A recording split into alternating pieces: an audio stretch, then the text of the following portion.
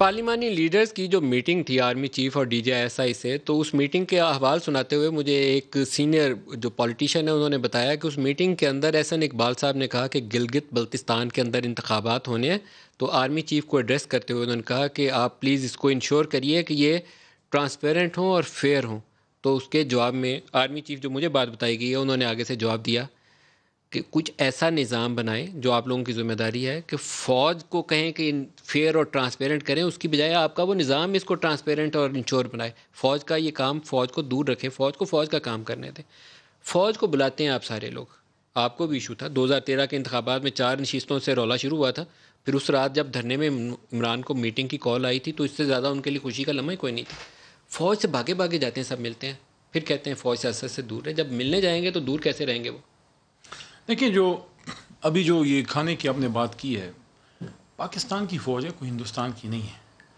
General Bajwa Sheikh साहब का जवाब दे रहे हैं आप सर।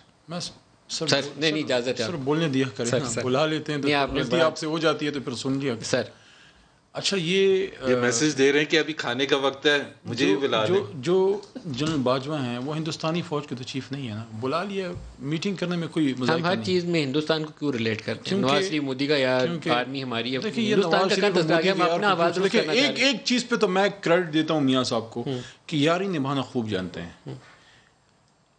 इंडिविजुअल कैपेसिटी में even as a political leader जाना और चीज़ होती है। जब आप रियासती अहदेदार होते हैं वो भी not a lesser than prime minister of a country prime minister of Pakistan Mian Mohammad Nawaz Sharif goes to India on official visit and for the first time in the history of Pakistan your elected prime minister does not meet Hurriyat leaders Kashmir का लफ्ज़ भी नहीं बोला तो भाईजान यारी यारी निभाएँ तो फिर ऐसे निभाएँ।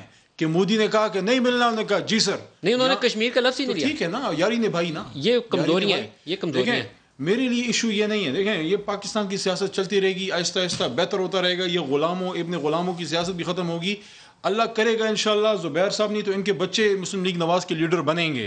इनको हमें तो खान ने मौका दिया है। हम तो किसी भी अहदे के लिए जो है वो इलेक्शन भी लड़ सकते हैं। इमरान खान साहब जिस अहदे के लिए खड़े होते हैं उसके खिलाफ भी असद उमर साहब ने इलेक्शन लड़ा कि नहीं लड़ा? खड़े हुए ना? इनकी जमात में तो ये सवाल ही नहीं पैदा ये तो गुलाम अपने गुलामों की पार्टी है लीडर का बेटा माइनस वन का शोर आप ही की जमात के अंदर तो उठा भाईजान उस पर फिर जवाब भी आया। अब आप जिनका नाम ले रहे हैं उनका भी तस्करा मेरे लिए सबसे अहम ये है कि जो इस मुल्क के साथ इस वक्त और मैं बाई गॉड मैं आपको दिल से ये बात कर रहा हूँ इस वक्त इस मुल्क के साथ जो आप सबसे बुरा कर सकते हैं वो ये है कि या तो आप शिया सुनी जो है हेटरेट को बढ़ाएँ। जुल्म है वो। ठीक है जी? जुल्म है वो। दूसरा या फिर जनाब आप उस फौज को टारगेट करें जिसका दुश्मन हिंदुस्तान जिसका दुश्मन इसराइल जिसका दुश्मन पता नहीं कौन कौन वो शहादतों पे शहादतें दे रहे हैं। ये जनाब अली ये हमारे नए दौर के हरकुलस ये जो नेल्सन मंडेला है वहाँ बैठ के अपनी को टारगेट कर रहे हैं। फिर कहते हैं सिक्योरिटी रिस्क सिक्योरिटी रिस्क क्या होता है?